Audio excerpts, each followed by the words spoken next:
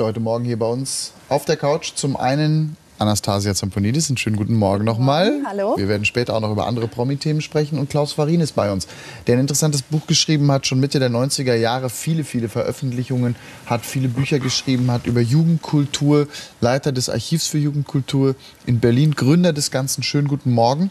Und eben dieses Buch über die bösen Onkels, Buch der Erinnerungen, die Fans der bösen Onkels. Am Donnerstag haben wir hier in der Sendung über das Comeback der Onkels gesprochen. Am 20. und 21. Juni zwei innerhalb von Minuten ausverkaufte Konzerte am Hockenheimring. Und bei diesem Gespräch am Donnerstag, Anastasia, da hast du dich auf eine bestimmte Art und Weise ausgedrückt über die Fans. Und die Fans der Band haben unsere Facebook-Seite daraufhin überrannt. Viele haben sich diffamiert gefühlt. Wie siehst du das, was du gesagt hast heute? Äh, zu Recht haben sie sich so gefühlt. Ja. Also ich schließe mich sehr gerne der offiziellen äh, Entschuldigung vom Sat1 Frühstücksfernsehen auf der Facebook-Seite an.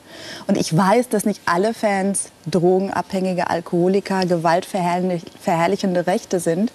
Das weiß ich aber nicht erst seit heute, seit unser Gast da ist, sondern seit ich mit einer ganz bestimmten Person befreundet bin. Sie ist eine meiner drei besten Freundinnen. Er lacht schon. Sie ist studierte Psychologin, eine sehr erfolgreiche Frau, sehr intelligent, trinkt ab und zu ein Glas Rotwein, das war es aber auch schon, ähm, ist Ur-Berlinerin und seit über 20 Jahren Fan. Fakt ist, dass wir niemanden diffamieren wollten und auch niemandem in irgendeiner Form dazu nahe treten wollten. Deshalb haben wir auch Klaus Farin eingeladen, denn keiner in Deutschland kennt sich besser aus mit dem Phantom der bösen Onkels als er. Schön, dass äh, du heute Morgen bei uns bist, Klaus. Wie kann man dieses Phantom beschreiben? Die bösen Onkels, die eine große, große Fanmasse in Deutschland haben, obwohl es sie seit neun Jahren bis jetzt Mitte Januar ja auch als Band gar nicht mehr gab. Die Fans haben einen so besonderen Zusammenhalt. Mhm. Was steckt dahinter? Also Fans formulieren das ja häufig als Onkels sind keine Band, sondern ein Lebensstil. Mhm. Das heißt, die Identifikation zwischen Fans und Bands ist extrem hoch. Mhm. Wenn man die Band angreift, greift man die Fans an. Mhm. Das ist ein wichtiger. Das hat man bei kaum einer anderen Band in Deutschland eigentlich, diesen Zusammenhalt. Und das hat natürlich viel mit der Bandgeschichte zu, zu tun. Eben 25 Jahre immer diese Musiker, das haben selbst die Rolling Stones nicht geschafft. Eine Band, die auch immer angegriffen wurde. Auch das spielt einen wichtigen äh, Faktor natürlich, dass sie selber immer wieder sozusagen als rechtsextrem beschimpft wurde. Und das schweißt Fans natürlich auch zusammen. Was sie ja nachweislich auch gar nicht sind.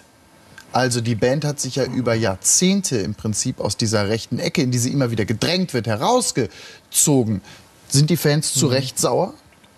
Ja, natürlich, weil äh, meine, allein wenn man nur mal ganz billig online geht, findet man Dutzende Belege, Beweise dafür. Man findet äh, bei YouTube ein Video, wo Stefan Weidner aufruft, die NPD nicht zu wählen. Es gibt Konzertmitschnitte wo sie gegen rechte Gewalt äh, angetreten sind, Benefits-Aktionen für Flüchtlinge aus Afghanistan, für Kinder in Peru.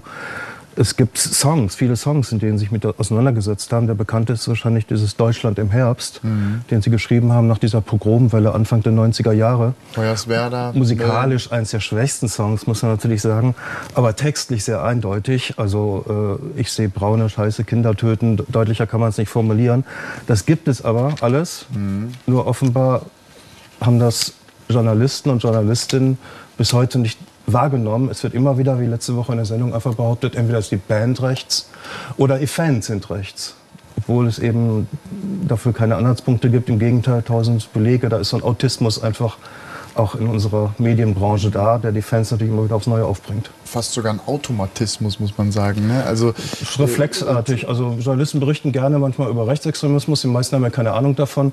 Und den Namen Böse Onkels hat man sich gemerkt. Eigentlich gibt es ganz andere Bands heute, die kennt man nicht. Und dann wird Kolportage immer wieder äh, Böse Onkels oder mal Rammstein oder wer auch immer erwähnt, wo man gerade halt einen Namen braucht. Und recherchiert wird da selten beeindruckend, oder mich hat das sehr beeindruckt, ich habe das ja letzte Woche auch noch von außen mitbekommen, äh, ist eben tatsächlich dieser Fanzusammenhalt, der sich auch bei uns auf der Seite dann wiedergespiegelt hat.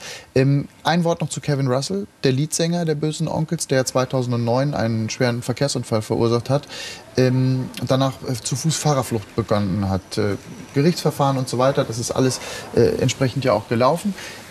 Die Fans wiederum, es hat viele empört auch, das was damals passiert ist, aber die Fans wiederum scheinen auch vieles zu verzeihen, zumindest von außen mhm. betrachtet. Ist das ein Eindruck, der täuscht oder? Also wenn man sich die die Fanseiten ansieht im Netz, sieht man eigentlich, dass sehr viele sehr kritisch darauf reagiert haben, also deutlich sich davon distanzieren wollten. Aber natürlich, Kevin Russell ist ja das Musterbeispiel für diese Authentizität, die mhm. diese Band vertritt. Jemand, der eben, was ich, schlechte Kinder, halt drogenabhängig war, äh, rechts war und, und, und. Und sich, und das ist ja ein Teil der Onkel-Songs, sozusagen aus allem rausgezogen hat.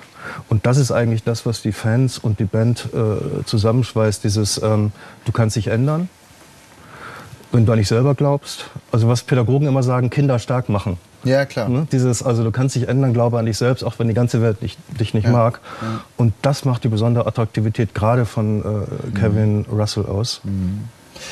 Versuch eine Erklärung zumindest für alle diejenigen, äh, die sich mit dem Thema nicht so gut auskennen. Und ich denke, wir haben das hier an der Stelle äh, richtig eingeordnet. Vielen Dank, Klaus Farin, für den Besuch äh, bei uns, den ganzen Morgen noch da. Anastasia genauso. Wir diskutieren gerne weiter auf unserer Facebook-Seite. Ich will das einmal besonders sagen, auch konstruktiv, das würde uns freuen.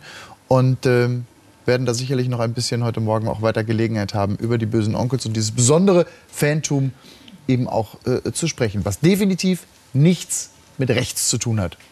Danke.